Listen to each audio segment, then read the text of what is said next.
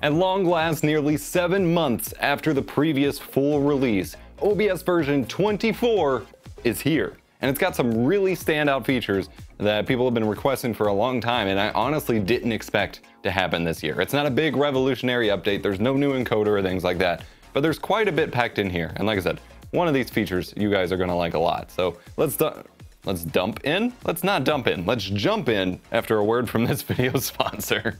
The ModMic Wireless can boldly go where no mic has gone before.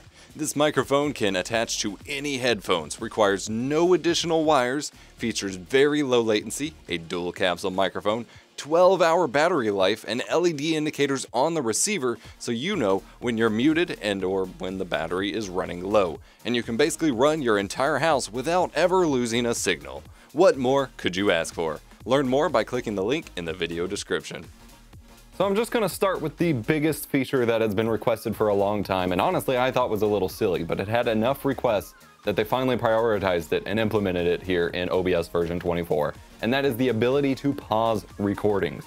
You can now finally set up and pause your recording instead of hitting stop or instead of having to cut chunks out of your video. So if you're recording something and you need to, you know, not have something included in the video, you can hit pause either by clicking or setting up a hotkey and then hit resume and it will continue recording from that point, leaving out whatever was in between it. Now this only works if you have custom recording settings set up. So if you have your recording set to use stream encoder, which means that it's just using whatever the stream settings are at, it cannot do this because the you know it's only running one encoder in that instance if you're recording and streaming while live. But if you're recording with just recording settings and not tied to a stream profile, then you're good to go and pause recording is finally here. Personally, I think it makes way more sense for a plethora of reasons to just edit your videos, but this is, like I said, been a much requested feature and it's pretty cool to see it finally implemented. With this pause recording capability, there's also a script you can use where when a specific scene is active, it will actually pause recording.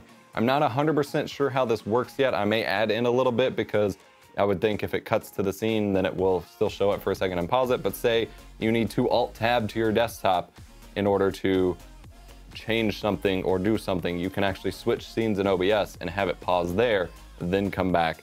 I'm not, again, I'm, I'm still not super sold on the pause recording thing, so I'm sure you guys will come up with more better useful situations in which it could be used than I will. But it's cool that you have that flexibility. Not only can you pause manually or via hotkeys, but you can do it based on scene selection as well, just to give you ultimate flexibility.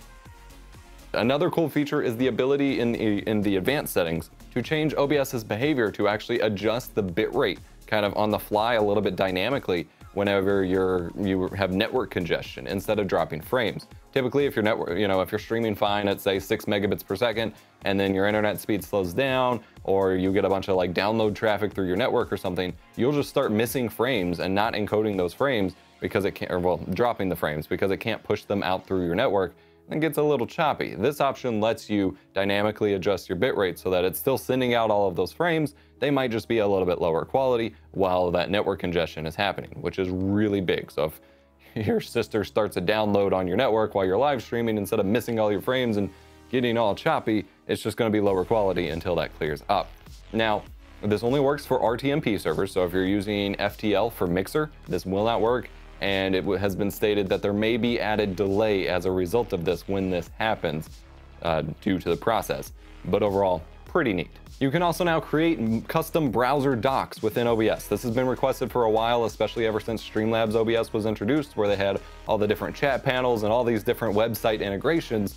They introduced streaming service specific ones for Twitch and Mixer and things like that, where you could pull up your Twitch chat and your Twitch profiles, but people wanted the ability to make and add their own for their own different websites or alternate chat options if it wasn't supported natively. And now you can embed pretty much any website, you know, into the OBS framework as you want so that it opens up when you open OBS, which is good for monitoring a lot of things. Like I could see people using it for like their event lists on a alert service or just keeping an eye on things in general. So really cool to see that finally happening.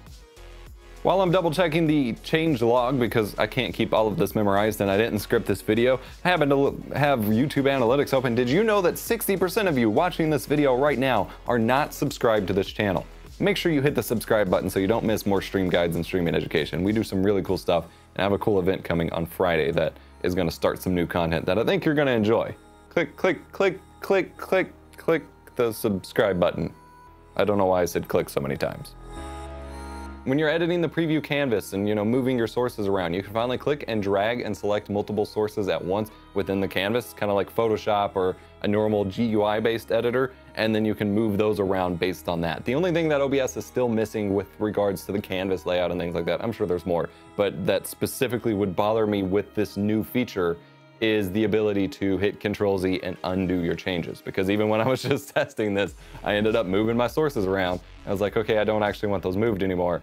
And I can't hit Control Z. Streamlabs OBS has introduced this. And given that it's an open source fork of OBS, theoretically the changes that they have made should be able to somewhat be pushed back downstream to OBS. So hopefully they can import that in some capacity that may depend entirely on their new front end though. So I'm not sure. I've been told undoing, especially in OBS, is actually really complicated, but I would like to see that there because at first I was just like, it's not that big of a deal, but now I, I keep running into instances where I really wish I could undo. If you disable your OBS preview instead of having to right click to enable it in case you do it on accident, I get comments about this a lot. People will be like, I, don't have a preview, what's going on? They now have a dedicated enable preview button. That's nice to see. Browser sources also, you can now control their audio levels because typically it just spat it out to your speakers and that's what the stream heard and you had no control over it. Browser source audio now has volume levels you can control, and you can set it up in audio monitoring, whether it goes out to your speakers through your system sound or whether it just goes to your stream and not you in the audio monitoring settings. And you also have the ability to add filters to the browser source audio as well. So adding that more as a normal audio source, which is really great.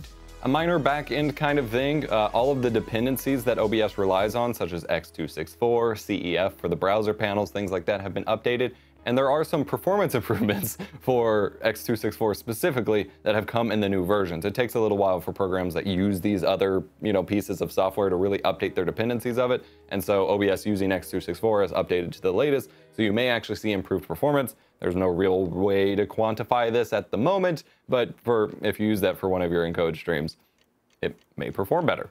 There's a couple of other little tweaks and bug fixes and things like that. Uh, a couple, of, I'm not going to cover them all, but a couple standouts is if you have less than 50 megabytes of disk space remaining, it will automatically stop recording for you. They added the option to confirm that you, like, you can toggle this so that it will make you confirm that you want to hit stop recording in case you select it by accident sometimes. And they have finally fixed, somewhat, hardware accelerated decoding for media sources. Typically, this was supposed to be there and wasn't there and now it is there.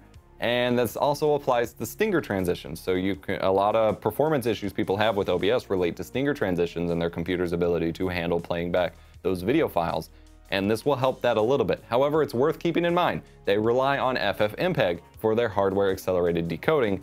And specifically a couple of the modes like maybe CUDA aren't even working at the moment still but there is still others like DXVA2 runs on NVIDIA cards as well. So there's still options that it will, you know, automatically select. But there isn't hardware accelerated decoding for most of the formats that support alpha channels in OBS. So if you're using that, you may still have some issues as a result of that. And I've gotten really inconsistent answers when trying to stream, like figure this out because they're not the ones who manage FFmpeg or what is, you know, accepted in FFmpeg but most of the formats that, like for example, the VP9 WebMs with Alpha, that's already a hacky workaround to include Alpha in the first place, and there is not hardware accelerated decoding on any platform for that, which is why it's kind of a problem to use, even though it's also the most flexible format for OBS. It's a weird situation. I've been trying to figure all this out. Hasn't really worked out yet, but that is one of the fixes is you may see a performance improvement as a result of this finally being actually implemented, even though it said it was there before. And lastly, I just wanted to note the default recording format has finally been changed from that ancient FLV format, which didn't even support multiple audio tracks, to MKV, which is really great. Excited to see it. And if you're confused how you're supposed to use MKV because your video editors or media players won't accept it, I have multiple videos on this subject, but go to File, Remux, and select the file, or you could go to your settings and enable Auto Remux. So as soon as you hit start recording, it remuxes the file back to an MP4 file. Really cool. I also still wanted to note one more thing. Um, I wanted to note, just because I think people might be looking for this, even though it's not super important, if you don't have any audio tracks selected when recording, it will automatically default to choosing whichever audio track is selected in your streaming settings.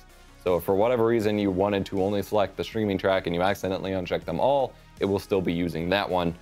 Weird scenario, but just wanted to mention it. So go download OBS either through the auto updater in the program itself or on the GitHub, download the installer dedicated itself. Version 24 is here. I am super stoked. Go check it out. Let me know what you think about the update in the comments section down below. Hit the like button if you enjoyed.